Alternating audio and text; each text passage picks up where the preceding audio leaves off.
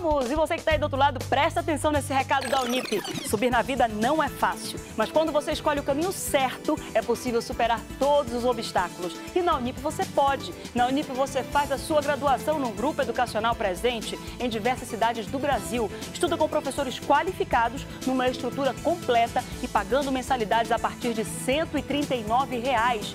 Isso mesmo que você ouviu. Mensalidades a partir de 139 reais. É a melhor relação custo-benefício do mercado. As inscrições para o vestibular da Unip são gratuitas e podem ser feitas através do site www.aquivocêpode.com.br. Se quiser mais informações, ligue agora mesmo para 0800 725 0045 e tire todas as suas dúvidas. Sabe o melhor de tudo? Na Unip você sabe exatamente quanto vai pagar por todo o seu curso e termina a sua graduação sem dívidas e preocupações, pronto para enfrentar todos os desafios do mercado de trabalho. O que você está esperando? Não perca essa oportunidade de mudar de vida. Inscreva-se agora mesmo. Venha para a Unip. Aqui você pode. Amaral, é contigo. Obrigado, Márcia Lasmar. São 11 horas e 21 minutos. Você que está em casa, obrigado pela sua audiência. Ligue, participe, faça a sua denúncia. Os telefones estão na tela, o 3307-3951 e 3307-3952.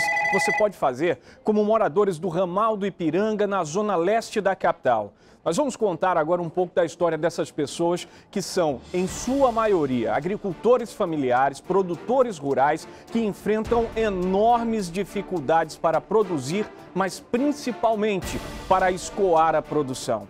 É destaque de comunidade que a gente abre este bloco trazendo para você, junto com o nosso repórter comunidade Fred Rocha na tela do Agora. Pois é, Amaral, muito bom dia a você, bom dia a todos que acompanham o programa agora. Hoje nós viemos aqui na rua Marapatá, antigo ramal do Ipiranga, na zona leste da cidade, para conhecer uma realidade muito difícil das pessoas que vivem aqui nesta área. Porque, como vocês podem observar, eu mostro logo né, que o local não é asfaltado e por isso as famílias que vivem aqui, que segundo aí um levantamento que os próprios comunitários fizeram em 2013, são mais de 600, pelo menos este é um número por baixo. A dificuldade de quem mora aqui nesta área, você pode observar nas imagens aqui. Olha só, essa família que está vindo, né? Provavelmente indo para casa, deve, deve estar tá voltando de algum lugar, porque as pessoas saem para trabalhar. Deixa eu só pedir permissão aqui. Só um instantinho, tudo bom? Bom dia. O senhor está vindo da onde? Eu estou vindo que eu fui fazer umas comprinhas para levar para as crianças comer lá dentro, né? Entendi. Aí sempre a gente falta as coisas, tem que vir. Eu tenho essas duas crianças que são especial, eu moro aí dentro com eles e a dificuldade é essa daqui que vocês estão vendo. A gente saindo para comprar as coisas para comer. Agora hoje foi um dia que choveu aqui na área e a gente observa o lamaçal que fica. É difícil andar, o senhor já caiu, suas crianças caíram já por conta disso? Com certeza, aqui sempre geralmente a gente cai, que quando tá do jeito que está aqui hoje, a trajetória fica muito difícil aqui a situação. O senhor trabalha de quê? Eu sou, eu sou caseiro, trabalho com criação de galinha, de pato ali para dentro do ramal Nova Esperança aqui. É sempre difícil para sair daqui, né? É muito difícil, muito difícil para sair daqui. Inclusive nesse chuveiro agora, né, que tá, a situação tá difícil para nós aqui. O senhor mora aqui há quanto tempo? Eu tô com dois anos aqui já. Quem foi que solicitou esta matéria, Amaral Augusto? Foi o líder aqui da comunidade, o seu Raimundo Nascimento, que inclusive está aqui ao meu lado. Senhor Raimundo, é... população aqui dessa área precisa urgentemente que este ramal seja pavimentado. É isso que vocês querem? Com certeza, é por causa da produção que nós temos aqui. A nossa produção ela é muito forte, de alface, cheiro verde e de criação de galinha, como nós temos granja, é, fábrica de charque, tudo aqui dentro. Um, já é um movimento muito bom que nós temos aqui de produção, que nós escoamos. Mas quando chega este tempo, fica muito difícil para nós. Quando chega no verão é uma alegria que eles trazem a máquina a jeito, mas quando chega no inverno fica dessa maneira. Aí nós não temos condições de tirar, olha, os, os carros se atolam, fica a maior coisa muito, muito difícil para nós aqui. Então, o maior sonho que nós temos é ver esse ramal asfaltado. A produção que o seu Raimundo é, está falando é porque os moradores aqui eles é, fazem o que as pessoas chamam de hidroponia, né, que é o cultivo de vegetais dentro de estufas usando água em vez de terra. E daqui a pouquinho a gente vai mostrar, na verdade, até um pouco desse projeto que eles têm aqui, que eles sobrevivem disso. Só antes de voltar com você, Amaro Augusto, o ramal tem 8 quilômetros de extensão e muitas famílias moram lá dentro mesmo. E aí fica até difícil para as pessoas que precisam levar as crianças para aula, principalmente no dia que chove, como que nós estamos aqui hoje. Mas é, como é, essas crianças estão em recesso escolar, elas não estão passando muito por aqui. Mas em tempo de escola é sempre assim. Não é isso, dona Joelma? É assim mesmo? É assim, eu não tenho filho pequeno, né? Meus filhos estão grandes, mas eu tenho dois netos. E a minha filha atrás, muitas das vezes, eles chegam sujos no colégio, né? Aí volto por causa dessa lama aqui, principalmente no inverno. É, e quando o, a prefeitura vem e ajeita no verão, é a poeira e faz mal, da gripe, da pneumonia, é outra coisa. É por isso que nós reivindicamos o asfalto aqui neste lugar. Ok, muito obrigado pelas informações. Para você ver, né? Mesmo quando não está chovendo por aqui, em que o barro está seco, tem o problema da terra que levanta quando os carros passam, trazendo aí dificuldades para a população daqui desta área. E quando chove, parece que a coisa piora ainda mais. Daqui a pouco nós vamos voltar, Amaral Augusto, onde eu vou mostrar para vocês uma família que sobrevive é desse cultivo de alfaces e outros vegetais por aqui. Eu volto com você ao estúdio. Obrigado, Fred. As primeiras informações direto da zona leste de Manaus, a gente observa aí pelas imagens, é um ramal em situação precária. Eu, eu lamento muito, porque eh, faz 10 anos, faz 10 anos da primeira vez que eu estive no ramal do Ipiranga fazendo reportagem, mostrando a produção rural e agora com as imagens do Fred Rocha, eu tenho a oportunidade de ver que pouca coisa mudou. Aliás, está do mesmo jeito, né? Do mesmo jeito. É criança andando no meio da lama, é o produtor rural sendo prejudicado porque não consegue escoar a produção agrícola, principalmente nesse período de chuva, e a falta de assistência é generalizada. Mas eu vou deixar para comentar isso daqui a pouco, porque o Fred ainda vai trazer informações e mostrar para a gente um pouco, um pouco só daquilo que é produzido no ramal do Ipiranga, que o pessoal chama hoje de Estrada do Marapatá. Márcia Lasmar, 11 h 27 é com você. 11 horas e 27 minutos, Amaral, como você disse. A gente daqui a pouquinho comenta um pouco mais sobre essa situação toda desse pessoal, porque é, a gente quando vê a pessoa com o pé no chão, literalmente, como a gente está vendo aí, essa falta de condições e de gente trabalhando e tudo, e tendo que sair com o pé na lama, literalmente, a gente fica triste, né? Porque isso é falta de democracia, falta de igualdade de direitos. É essa que é a realidade. Olha só essa situação. A gente vai voltar daqui a pouquinho para mostrar não só essa dificuldade de tráfego ali no ramal, mas também a dificuldade de produzir, de mostrar a sua produção rural e mostrar o seu trabalho. Mas daqui a pouco a gente volta com o Fred Rocha. 11h27, daqui a pouco vai virar o relógio, você que está aí do outro lado, a gente vai falar de vacinação. Olha só, a procura pela carteirinha internacional de vacinação aumentou nos últimos dias e tem muita gente reclamando do serviço. O documento, a carteirinha, é necessária para as pessoas que vão para o exterior. A vacina contra a febre amarela, por exemplo, precisa ser tomada 10 dias antes da viagem, senão não embarca. Vamos ver agora, coloca na tela.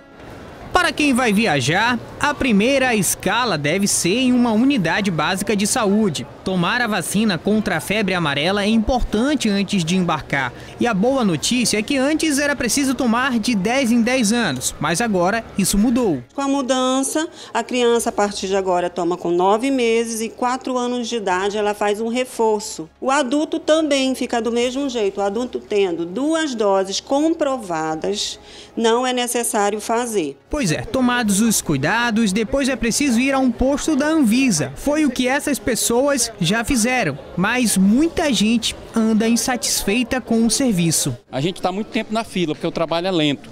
Ainda é desorganizado, aí as pessoas se revoltam, infelizmente, né? E as reclamações não param por aí. Teve quem chegou bem cedo para conseguir tirar a carteirinha internacional. 5 horas da manhã ainda já tinha muita gente aqui na fila e de, devido é, esse, essa alta temporada, acho que os outros, o outro posto da Anvisa deveria estar funcionando. Daisy e o filho vão para Margarita, na Venezuela, e ela vai precisar de um descanso, porque por enquanto tem sido só estresse. Então isso assim, é até um descaso com a população, né? De vir para cá e não ser atendido. Já o Renan quer mesmo é... Do mar. Por quê? Porque é legal. Com um crescimento de 5% na movimentação de passageiros, a expectativa é de que até janeiro 300 mil passem no aeroporto Eduardo Gomes. Por causa disso, o número de emissão da carteirinha internacional de vacinação também aumentou. Eram emitidas 30 por dia, agora são 400 Para os viajantes que te, pretendem viajar para Colômbia, Peru, Equador, Bolívia, Venezuela e a Guiana Francesa, entre outros, ele precisa obrigatoriamente se vacinar 10 dias antes da viagem, tá? Para vacinação de febre amarela. Para as pessoas que se destinam aos Estados Unidos, Europa e os países da Ásia, eles precisam se vacinar contra o sarampo. Só, é importante dizer para você que está aí do outro lado que as unidades básicas de saúde, que são da responsabilidade da Secretaria Municipal, elas fazem esse atendimento, fazem essas vacinas. Eu, agora há pouco mesmo, tem duas semanas, atualizei minha carteira de vacinação, vacinei de novo com, com reforço da dose de tétano, febre amarela, tudo isso aí para poder manter a saúde da população.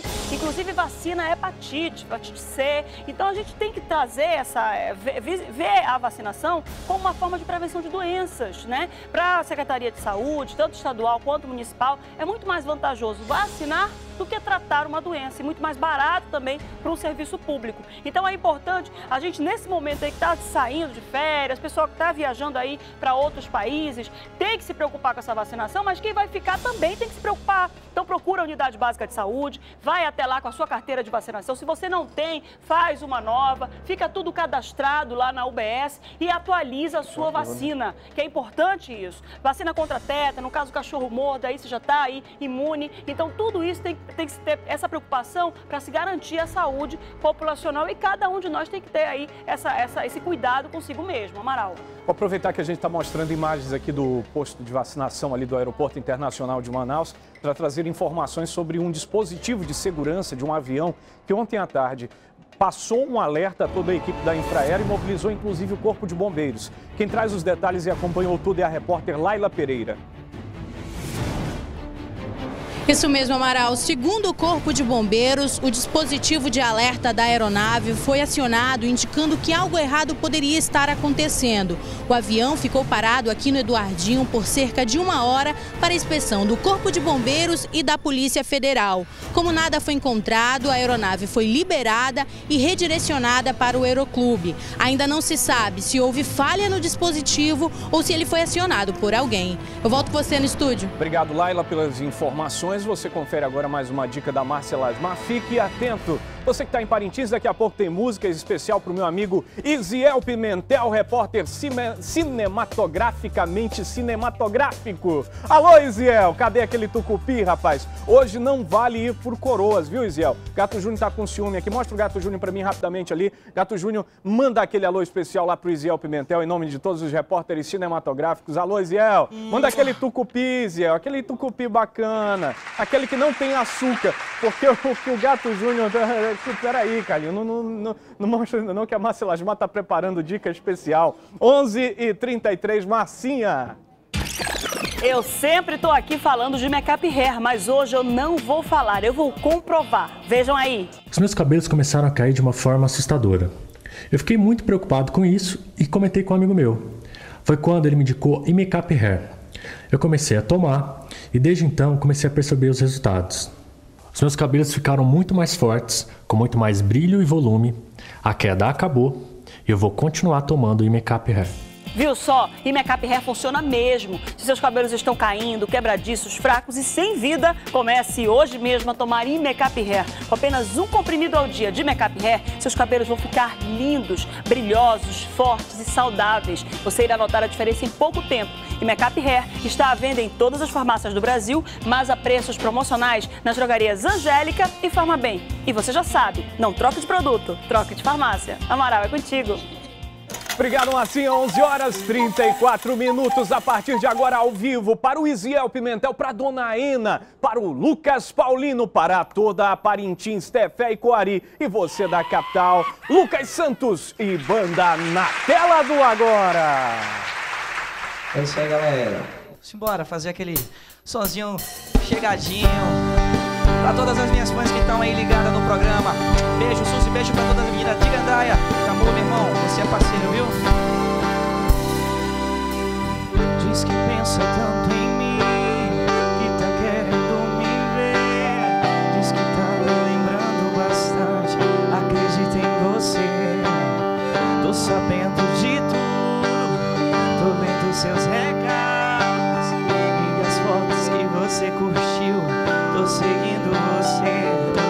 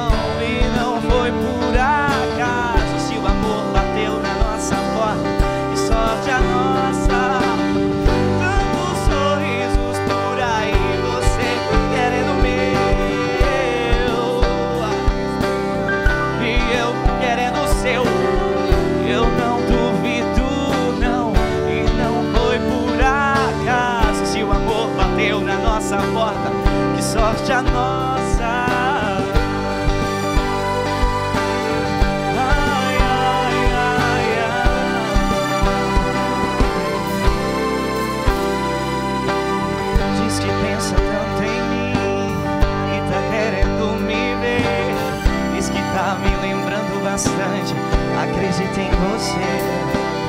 Tô sabendo de tudo, tô lendo seus recados e as fotos que você curtiu, tô seguindo você. E aí, é vai fazer? Diz aí, se você quer e eu também. Tô querendo você.